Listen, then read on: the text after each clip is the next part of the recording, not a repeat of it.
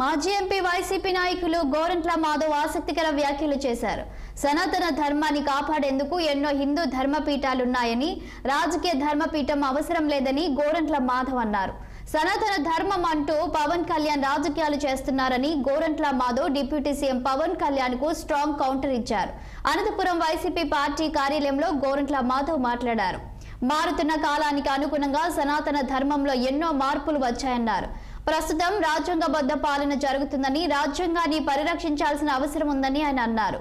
ఎన్నో హామీలను ఇచ్చి అధికారంలోకి వచ్చిన టీడీపీ ప్రభుత్వం హామీలను అమలు చేయక అభివృద్ధిని ఏమాత్రం ముందుకు నడిపించలేక డైవర్షన్ పాలిటిక్స్ చేసేందుకే వెంకటేశ్వర స్వామి లడ్డూల విషయంపై అనవసరమైన విమర్శలు చేస్తున్నారని ప్రజల దృష్టి మరల్చేందుకు కృషి చేస్తున్నారని విమర్శించారు గోరంట్ల మాధవ్.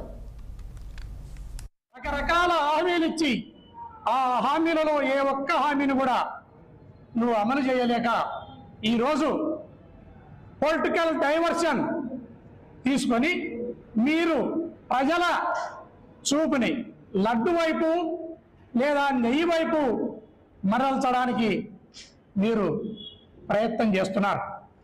దయచేసి ఈ ప్రయత్నాన్ని ఇప్పటికైనా మానుకొని మీరు ప్రజల సంక్షేమం వైపు అభివృద్ధి వైపు ఆలోచించాలని ఈ సందర్భంగా తెలియజేస్తున్నాను.